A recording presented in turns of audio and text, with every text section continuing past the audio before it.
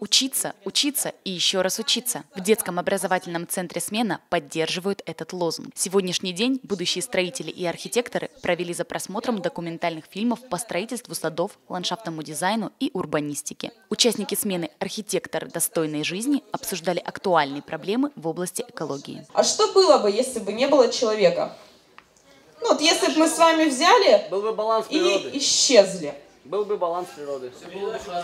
В смене уделяют внимание не только профильному, но и морально-этическому компоненту образования. За будущими поколениями будущее страны и всей планеты. Строитель – профессионал с большой буквы лишь тогда, когда он преобразовывает жизнь людей с заботой о природе.